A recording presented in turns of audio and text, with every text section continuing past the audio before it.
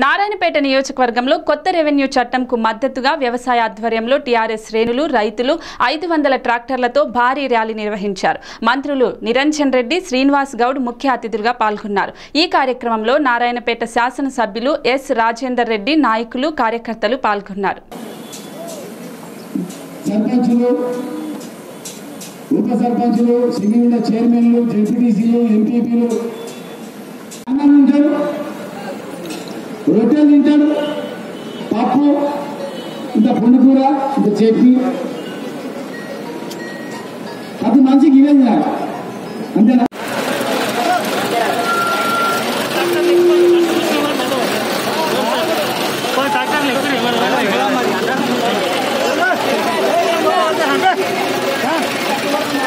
పెట్టుకోవాలి పేరు నుంచి వాని పేరు పెట్టాలి వాని పేరు నుంచి వీని పేరు పెట్టాలి?